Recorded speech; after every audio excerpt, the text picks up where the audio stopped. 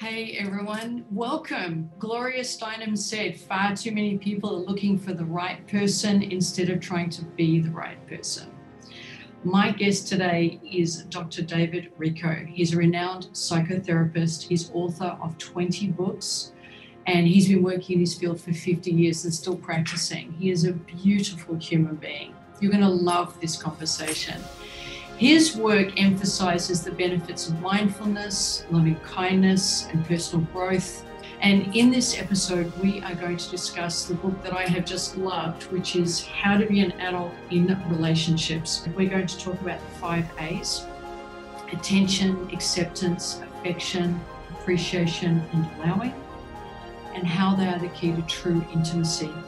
So we're going to be chatting about this and more. Leave us a rating, and I'd love to have a review about what you thought about this conversation. And here is Dr. Dave Richo. Thanks so much for joining us. I think your work's just fantastic. Thank you. I really enjoy it. Um, my husband and I are working through the book together right now. Oh, really? Yeah. Yeah. That's a good way to do it. We're approaching it really mindfully and very slowly with big pauses and just making sure we're we're attempting not to bring what we might have done before we read your book to what we share so that we can create some new levels of intimacy. We've been married for 28 years. Wow, so, congratulations. Yeah, thank you. So and I don't think this is natural to people necessarily. I think there's enough layers of debris piled on top of us over the years that whatever part of our spirit or our soul had access to this early can get buried. And what I love about your book is how you invite the spiritual journey as well as the therapeutic journey, the mindfulness journey. Can you speak a little bit about how it came about that you bring both to it? Because I'm loving it and it's it's a beautiful unfolding for us. Oh, thank you. I think uh, the way it began for me was uh, finding Buddhism in about 1971. And the first uh, connection I had with Buddhism was reading a book called um, Cutting Through Spiritual Materialism by Trungpa Rinpoche. And that book was published by Shambhala, which became my publisher. And the book was about how Buddhism is a kind of psychology. And so my first introduction to something that was spiritual in a new way you know, different from the um, Christian view, um, included the psychological. So I thought to myself, well, then this is what I want. It's to bring together how we become healthier according to Psychology 101 and how we, at the same time, advance on our spiritual journey. And that's the journey toward being a person of integrity and love. And so that's the origin of my book, How to Be an Adult in Relationships.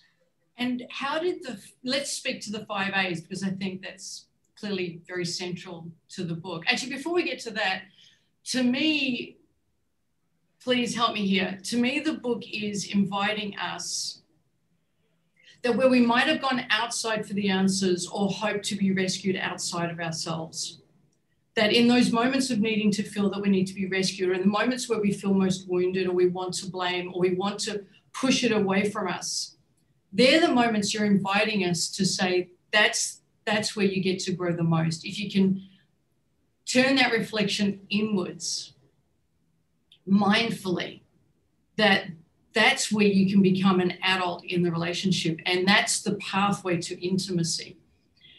That's a difficult message, Dave, on a bad day, and an easier message on a good day. it's all order. What's that? It's a tall order. It is a tall order. Can you speak a little to our audience about that journey? Because I think it's so integral to the message in the book the invitation to reflect within in those moments when we would want to push it away from us. It's basically becoming aware of our needs first, and then our fears of having our needs fulfilled and I know that sounds contradictory, but it's the irony that informs so many relationships. We look like we're really wanting intimacy, but at the same time, we could be fearing that same intimacy because of what it entails, which is becoming vulnerable, letting ourselves be seen as we really are, with all our warts and wounds. And at the same time, um, what you just said uh, figures in so much that um, we would look inside for the first take on what our needs are about rather than immediately going out and seeking Instead, we're asking ourselves, what were our original needs? And these are the what I call the five A's. And then how am I disappointed that they weren't fulfilled originally by my parents?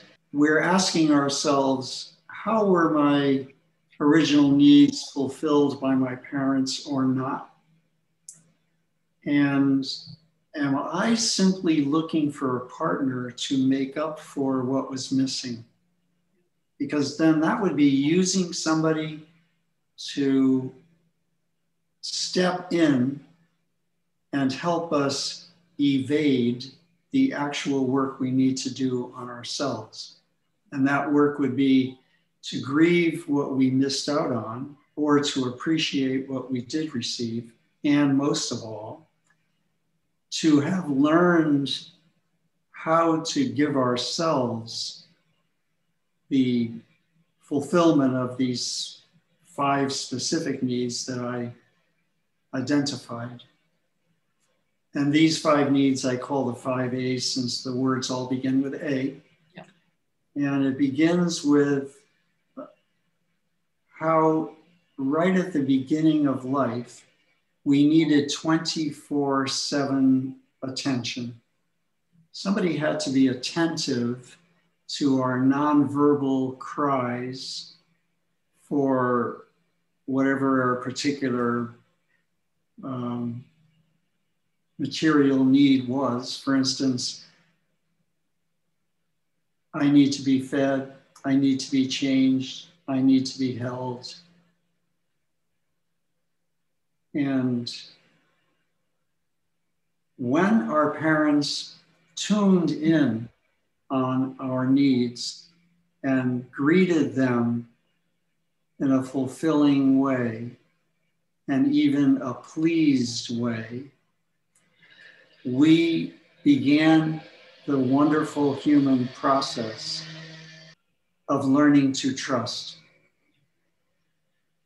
that I have been born into a world in which you can trust that you will be attended to and that your needs can be fulfilled.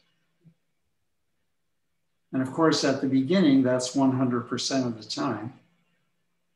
But when we become adults, we realize that it kind of goes down to about 25% from any one person. Mm. Otherwise, we're being too needy. So then, um, since one of these needs was to be held, that's our second need is the need for physical affection. And now we even know that the brain doesn't form fully in the womb. Our, gra- our, our brains develop in accord with how much we're held. So that's the second need is affection which of course later in life could be confused with sex. and it can include sex and hopefully will, but um, it's not supposed to be a substitute for it. Then we started to show the particular personality characteristics that we were born with. And we needed acceptance of us as we are rather than have who we are be greeted by people who thought we should be what they wanted us to be rather than what we actually were. So that's a very central one. Um, to be accepted instead of um, having somebody try to form us into what we should be. Or have someone tolerate us. Yeah, just tolerate rather than welcome us. Yeah. And that's a good word to use. Like we're was our personality given hospitality in the home? Or was, was it holding space for us? Holding space for it, as opposed to uh, there's something wrong with you and you know you wind up feeling shame. Then, of course, um, we wanted to get it that we were valued and appreciated now that they now that they know who we are they valued us so that's the fourth a appreciation when we started to show any form of independence including independent locomotion i'll give an example they were very happy with that and they not only welcomed it, but encouraged it. And that's called allowing. They were allowing us to launch out and live in accord with our own choices. So it happened first when we crawled across the floor instead of needing to be carried across. And they were okay with that. They didn't swoop us up and say, I'll carry you across. You don't have to crawl they allowed us to go. And then they allowed us to go to school, and then they allowed us to have our own opinions, and then they allowed us to leave home altogether. It's all part of the launching experience. And that I call allowing. And the opposite of allowing is controlling. So the opposite of attention is ignoring you. The opposite of affection is cold distance. The opposite of acceptance is rejection. The opposite of appreciation is taking for granted. And the opposite of allowing is controlling. Thank you.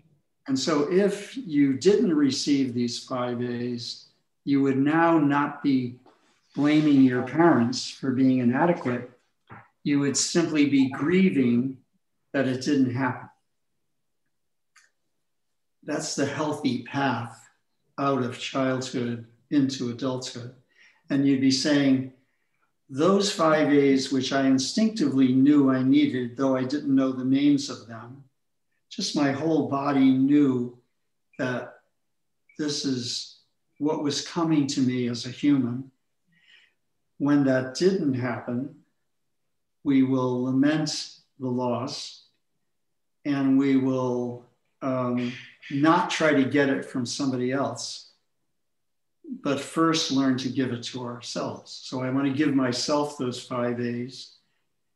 When I have come through childhood, having grieved what was missing or appreciated what was there, and learned to give it to myself, and reduced my expectation of what other adults will give me. parenthesis, they won't give me 100%, they'll give me 25% at the most, and that's sufficient. When all that happens, I'm ready for a relationship. Imagine not knowing this. Imagine thinking that, oh, I'm ready as soon as I feel like I'm in love. That's being ready. Well, my book tries to show that's not being ready. Being ready is becoming an adult first. Then you can have an adult relationship. one, one in which there is love, but there's also, but the two people who are loving each other are coming from work that they've done to ready themselves for relating. And my other book is specifically on that topic. It's called um, When the Past is Present. Title says it all. Yes, it does. I mean, if, the, if your unfinished business with your parents is sitting between you and your partner, uh, you could never have true intimacy. One of the things you say in the book, and I'll, I'll make sure I get it right the commitment to work through problems as they arise is the only sign that we truly want full intimacy. Yeah. when you make a commitment to work things out with each other, to keep agreements with each other, to do your own personal work, to get you to be the best partner you can be. That's how you know that you have a real commitment, not the wedding ring. Or the big day. yeah, I mean, the wedding ring is supposed to represent that. You also talk about how the only issues that we treat matter of factly are those where we don't have an emotional hook or a wound from our past. It's one of the things you speak about. And then you suggest this model, the SEE model. Could you chat with our audience a little bit about what that is and how that can be helpful for us having recognition of how we are playing our part in the drama that might be unfolding before us? You mean when the when you have a conflict with the other person? Yeah, or there might be just blaming them, or might just be resentment, it, it doesn't necessarily have them having to say anything. There can be drama without their even knowing. Yes. Um, first of all, the drama thrives on um, adrenaline, whereas the true intimacy thrives on oxytocin. That's our hormone of closeness and, you know, warm, fuzzy feeling. Um, whereas some people are more drawn to uh, keeping things at a fever pitch. And it's always a big drama going on. There's always a big conflict which can't be worked out. And uh, when you're doing that, it, you might ask yourself, do I really want closeness or do I, or what am, am I actually just looking for um, an uproar that will safeguard me from ever having to be vulnerable. And uh, one of my little uh, humorous ways of expressing this is I say, Did you ever wonder why the 23rd Psalm? He makes me lie down in green pastures, he leads me beside the still waters why that would be recited as a funeral, but not at a wedding. Hello? Are we thinking peace and quiet is not what marriage is about? That's only for when you're dead? You get what I mean? uh, so, for some people, it's like that. I mean, they think that it's real if it's um, painful. And that's what that kind of a conflict is it's a form of pain. um, but the other part of this is that uh, when you really love, it's more of a sense of serenity rather than drama. And we're not used to that because we've seen so many movies in which the high romance is characterized by all kinds of conflicts and difficulties and arguments and expectations and blame. And um, we don't get it that we imagine it would be boring if everything were moving along smoothly.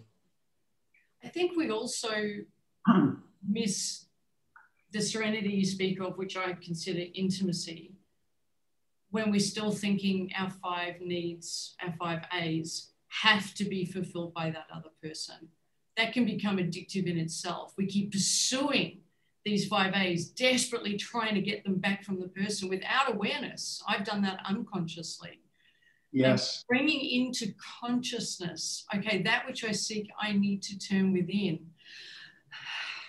That's harder, Dave. That's scary. It's so much easier to blame them or to pursue them for it because then I get to surrender the responsibility that comes to looking within. Exactly. Mm-hmm. And, you know, most of us are doing just what you described. And it's, you know, it just doesn't work. Thing treadmill that we can get on and especially if the other person's doing it with us as well, that they think they've got to latch on to us for their five A's unconsciously, and we're trying to latch onto them, and we're just going to be this sinking ship because neither of us knows yet that providing it for ourselves is the source of strength in the relationship, which means we're going to be able to provide it in a mindful way rather than a desperate, clingy, needy way. Exactly. Hmm. Can you speak to the three um, to SEE? I quite liked that. Um, yeah, I enjoyed that. I, that's been useful in our discussions. I will talk about that. But just before I do, I wanted to give a quotation from a poem by Samuel Taylor Coleridge, a British poet. And this is from his poem, Dejection and Ode these two lines, which summarize what you said before. I may not hope from outward forms to win the passion and the life whose fountains are within. That summarizes the, the idea that you brought up. Yeah. I may not hope from outward forms, people out there, to gain the wonderful, lively passion that I haven't first found in the resources within myself. Most of us aren't taught to look within. Yeah. Most of us are taught and trained to go outside of ourselves. Oh, yes. I know people who don't have an inner experience of themselves. They don't know how to go within. Yeah it's all part of the uh, commercial setting of society. You know, go out and buy things, go out and get things. I mean, the more you find it within, the less business will there be. So. Anyway, I want to go on to the SEE that you mentioned, and it's a very good point. Um, and by the way, my most recent book is called Triggers I have that. I'm reading it now. How we trigger each other, and I'll go more into detail on SEE in that book. Yes. Anyway, uh, I came up with this um, way of asking yourself what is getting you so upset or reactive. And I come up with a little acronym SEE shadow, early life, no, I'm sorry, shadow, ego, early life. So when something happens, you ask yourself three questions when you get upset, or something is stuck in your craw, continues to bother you, you don't know why. First, is this the did, is what I just encountered in that other encountered in that other person simply a shadow of my own personality am I seeing in how that person treated me the way I treat others? So that's what Jung called the shadow, the hidden side of you that you project onto other people. Secondly, is it my big fat ego? And by this, I mean the inflated, arrogant ego, not the healthy ego. Uh, that has the inner resources. No, this would be the kind of um, entitled part of us. And uh, is that what happened? Has my ego been bruised? Is that why I'm upset? And then, third, is this a replay of something from early life? So, shadow, is this what I usually do but don't get away with? Ego, has this person dared to uh, threaten my greatness? Or finally, is this something that my parents might have done to me and uh, it's re traumatizing me now? So when you ask yourself those three questions, they're the alternative to blame immediately blaming the other person. Say, wait a minute, why am I so upset by this? And let me ask myself first what part of me has been activated rather than how wrong the other person is. And activation to me, when JP and I find ourselves doing this, we invite ourselves to slow down. Slowing things down really helps get out of the hook. Absolutely. Because drama thrives on speed. Yeah, because emotions come in faster than thinking. Mindfulness right. turns up afterwards. Yes. Yeah. And so one, and then the next part, I wanted to have that flow into because I was fascinated by your whole chapter in the book on ego and face. So I, I hope I'm not putting you on your spot asking you to remember from. Oh, thank you. um, this acronym face, so fear, attachment, control, and entitlement.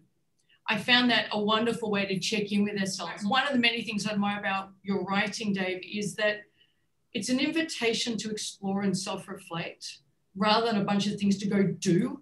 It's it's an invitation for mindfulness to this is how you go within. And I think that's so helpful because people don't know, a lot of people don't know how to turn within. They look within they feel pain. They look within they feel tense. They look within and they feel hooked. They look within and they feel hot or the adrenaline. But what you're doing is inviting us to reflect on what can help us heal those wounds and progress into adult intimacy.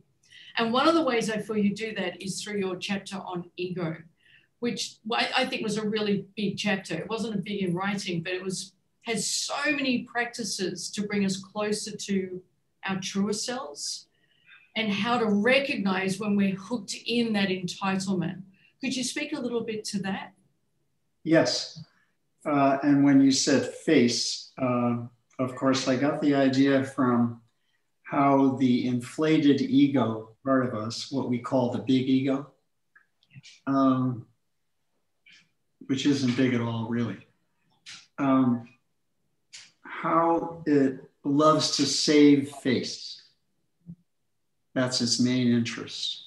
I have to save face. I have to look good. I can never look vulnerable or humble, or certainly not humbled. And so I took that word face and I thought, I wonder if what like four components of this big, big ego might be. And of course, fear is number one. It's the fear that you won't be acknowledged as you need to be, that uh, the rest of the world won't see how wonderful you are, but it's also the fear that you won't be able to handle not being given the special treatment that you think you deserve. So it seems like it's only a fear that you won't get what you want, but it's also the fear that you won't be able to deal with the ordinary uh, you know, what Ham, Hamlet calls the slings and arrows of outrageous fortune. So ego begins, it looks big, but it's really very weak. For me, it seems it's the fear of not being lovable or being acceptable. Yeah. Instead of facing that vulnerability. Yeah. Instead, we create a, a wall so we never have to deal with the question. Yeah, it's the fear that I don't deserve those five A's. Yeah. And how ironic that here we would be covering up the very vulnerability that helps people love us. Yeah. So, it, you know, it, it becomes perpetual. Yeah, it ultimately is self harming. Yeah. So it's fear and then attachment to being right, control. I have to control others and their behavior. And finally, entitlement. I'm entitled to special treatment. The ordinary conditions that everybody else has to face don't apply to me. I'm above all that. That's kind of an arrogance to it. And it's this is, uh, this is the part of us other people won't like. Yeah. And the and the dreaded treadmill we get on by being in that space, we're never going to get the very thing we truly crave anyway. Yeah, I think one of the quotations in the book that I've always remembered is um,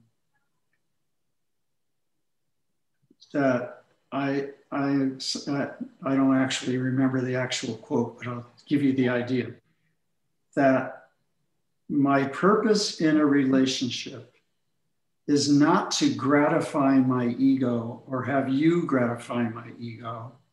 My spiritual purpose is to dispossess myself of ego to gratify our relationship.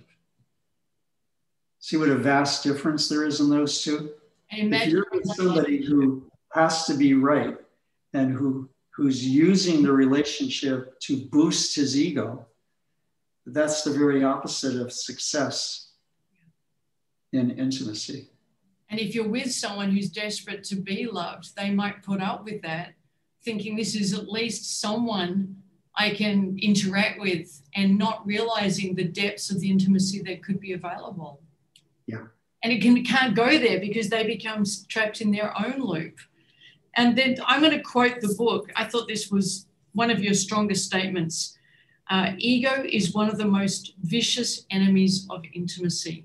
That's really strong language. There, it seems it's a solo act. That when we're in ego, it's a solo act. It doesn't. Everybody else is a bit player. They're just supporting acts for our starring role in how we have to bolster ourselves. And I feel so exhausted when I imagine living that way. There's an exhaustion about it, just such weirdness. It's definitely a form of pain. Yeah. Yes. You like that. And by the way, it is a have to. You see, the ego you're describing is operates on compulsion. You Can't help it. I just have to be right. It's not that I think I am right, it's I have to be. I have to be controlling. I have to get what I'm entitled to. It, it's, it's, I mean, that's how your compassion comes in. You're sorry that somebody is stuck that way. In fact, Joseph Campbell has a really wonderful definition of hell. Hell is being stuck in ego. Hell on earth. Yes. The only place, the only place it does exist. And if somebody's putting effort into the neurology around building up having to be right and not being corrected and not being influenced by someone else, that neurology takes on a life of its own. And I picture that person the day when they face potentially not being right or they realize the facade they built, that this is a house of cards. There could be an ego collapse in this if they become aware inappropriately, too quickly, I'm not too sure what the language is, of the facade they've built, the shallowness of what they've built, because it's all exterior surface shallowness that they're building. There's no deep dive to self required. Yeah. Mm. It would be a fear of going into the depths because in those depths, you might find out about your own wounds and then having to face vulnerability, which is just too much because that's that's what they've been trying to cover up. Let's talk a little bit about ways of navigating through this. I loved every practice you provided in the ego section, all of them. Um, I've started at the beginning, we're just making our way through the practices. But around ego, it was um, transforming the need to be right and transforming justification. There were many other practices and also letting go of blame. If we can find that within us, the ability to slow down, and instead of saying that automatic triggered response, blaming the others, if we can just pause that and swallow that long enough, something else may appear. Can you speak a little bit about some of the practices and how they can help someone get out of this solo act in a relationship and start moving towards adult intimacy?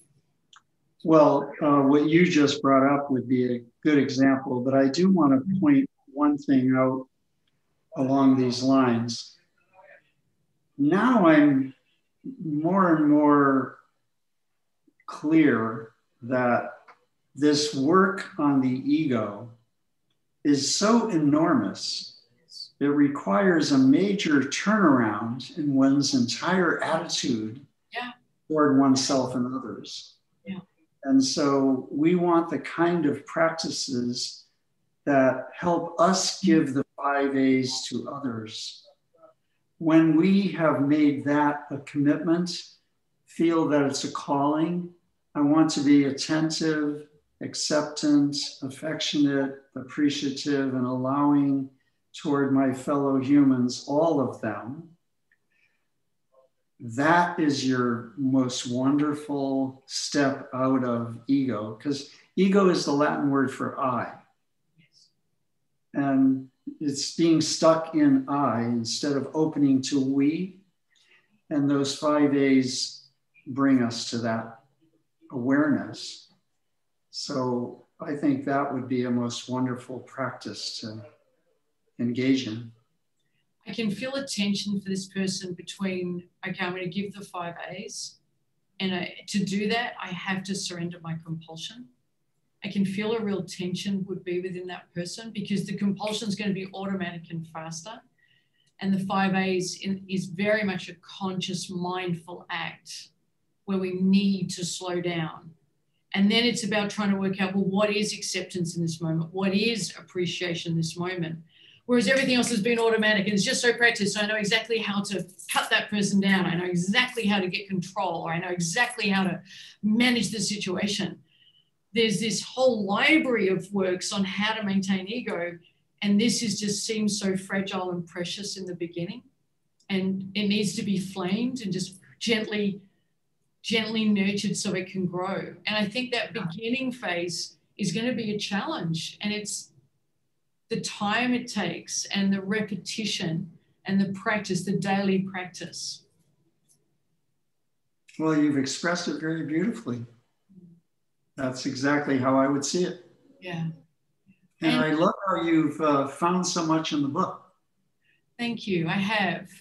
Um, my first read was it was like a, a hose coming at me and I could only take a, a, a dribble. then the second one, oh, okay, I'm, I'm consuming a little bit more. The third read, I began to reflect in it more of my own mindfulness. And now we're going through it and working through the practices. But the first read was I I understand cognitively the journeys within, and I believe I've done work within. But to hear so straightforwardly, 75% of your needs can be met by yourself. well, no, it's it's yourself and your um, support system. Yes. Friends, family, work, mm. spirituality, Mother Nature, and yourself. Yes. Yeah. Yes. Yeah. Um, I, I Otherwise, can, be stuck in ego again. Yeah, yes. And. I I find myself needing to slow down more and more the more I appreciate the five A's. Yeah. The stillness, the silence, the pausing, yeah. all of that is what allows this to come through and in and to flourish. There's no room in the speed for the five A's to flourish. or for the self reflection. Right. Yeah. So, one of the things you said about uh, transforming the ego is to let go of blame. In those moments when we want to strike out, and you also talk about the energy around anger. Anger is an easy energy, it's a proactive energy, it's a strong energy, and we can feel and tell ourselves we're strong in anger. Can you speak to the flip side of that and what we're searching for as we slow down and what it is we would prefer to seek?